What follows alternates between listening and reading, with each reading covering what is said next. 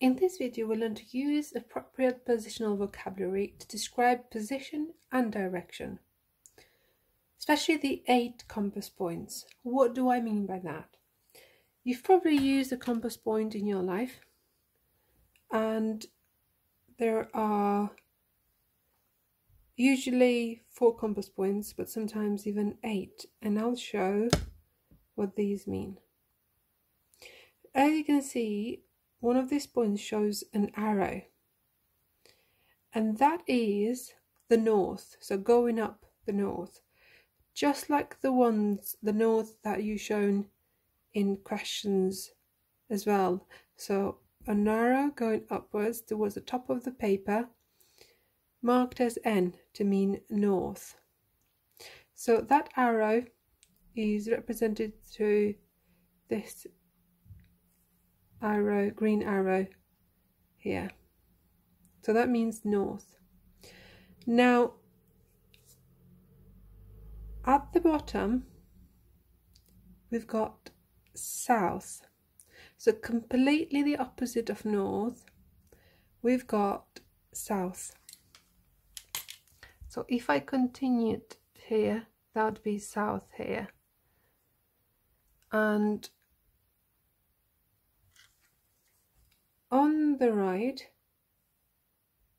we've got an E which means east. So this way is east and completely on the opposite of east is the west on the left. So what are the other four points? So we've got four points already what are the other four points? The other four points stands in between these four. So between north and west is the northwest.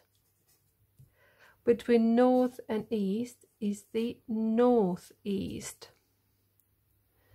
Between south and east is the southeast, and between south and west is the southwest.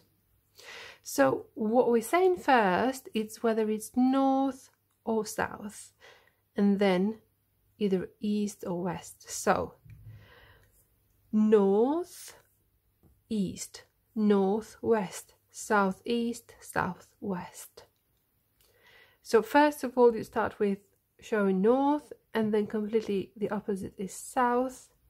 Then on the right is east, on the left is west, and you can fill those in between by starting with north or south and then giving east or west. Let's have a look at what this means exactly. So I've got the UK map here and what I'm going to be doing is looking at the direction of different cities from different ones. So we'll start with Manchester. And I will draw north from Manchester. So there is north. So that's always a starting point, looking at the direction of north, doing something that is parallel to that. I like to refer to the top of the paper by making a right angle triangle. So there is north, and we have south. On the right, we've got east and west on the left. Now, Leeds, where is Leeds? Leeds is northeast of Manchester. As you can see, so there is north, there is east. This is northeast of Manchester. And let's have a look at some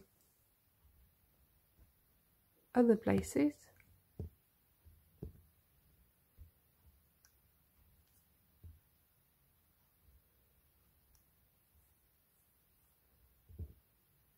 We have London here.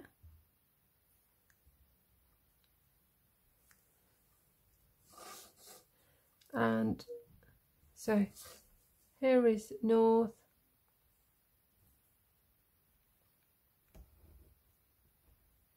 And here is south.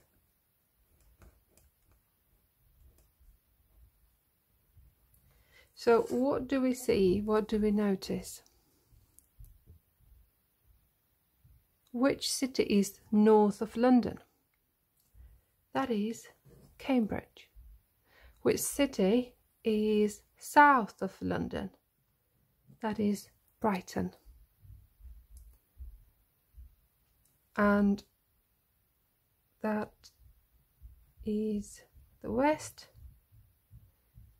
So Oxford is more or less west of London. And so is Bristol. So that just gives us some examples of how to use the compass points to describe position and direction. So we would say Leeds is northeast of Manchester. So you need to move due northeast from Manchester to get to Leeds. What about from Leeds? So there is Leeds, there is the north, there is the south, there is the east, and that's the west. So Manchester is southwest of Leeds. So there is the south, there is the west. So between the south and the west of Leeds, so Manchester is southwest of Leeds.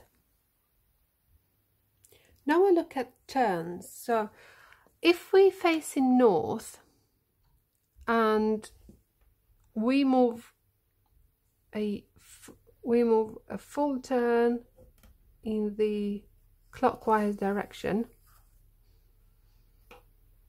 we'd end up north again. So same thing, if I did, I was facing north and then did a full turn in the anti-clockwise direction, I'd end up north as well. So wherever you start, you'd end up with, again, if you did a full turn. So if you started in the east, do a full turn and you'd get to the east again, facing east again. So if we do a full turn, we end up where we started. Now half turn again.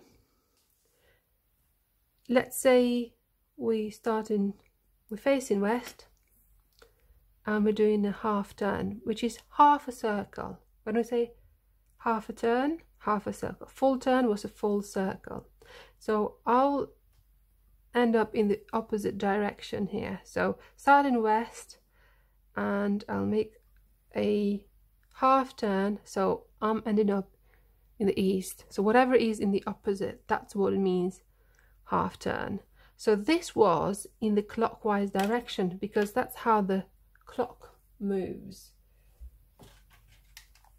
The minutes will go through this journey, not this way. So this is clockwise and this is anti-clockwise. So if I do this now, anti-clockwise, again, with a half turn, it brings me to the same place. What happens with a quarter turn?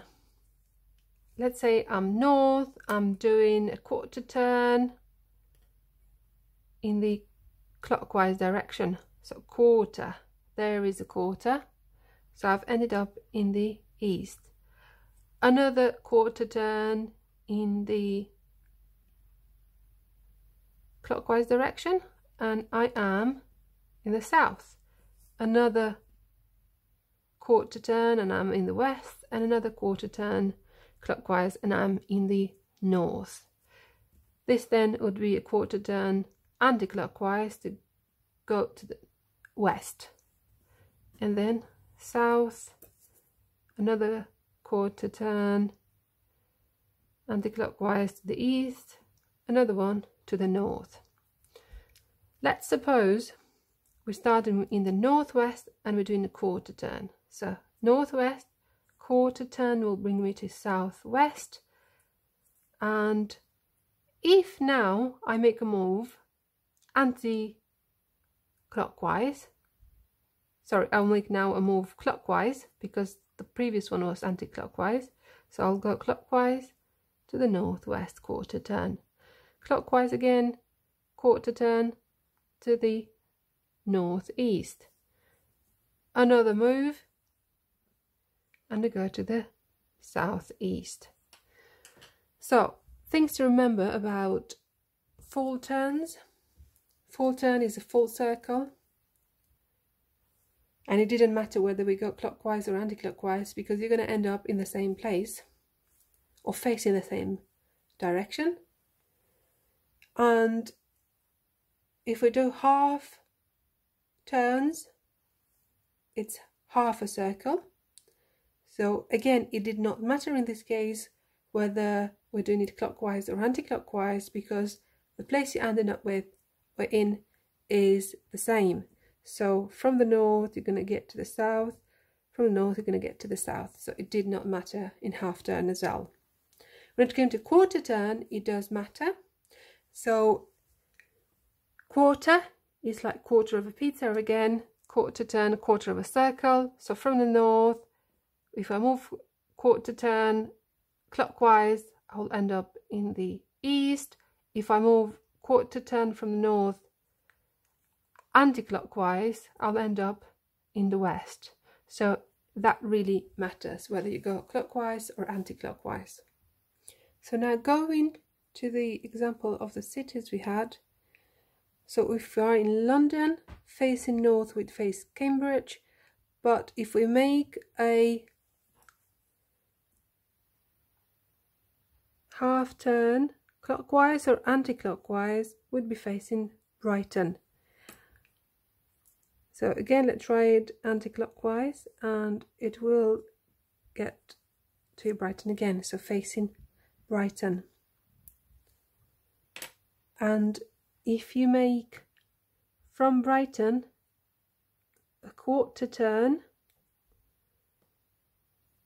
anti-clockwise, then we face in Bristol.